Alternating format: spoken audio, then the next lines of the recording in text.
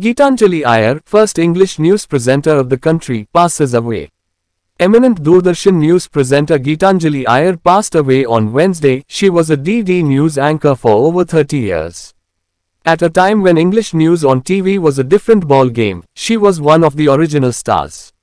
She started her career as a journalist in 1970s and joined Doordarshan in 1975.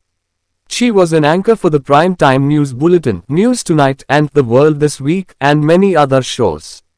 She was awarded the Best Anchor Award four times. She also received the Indira Gandhi Priyadarshini Award for Outstanding Women in 1989 for her work, achievements, and contributions.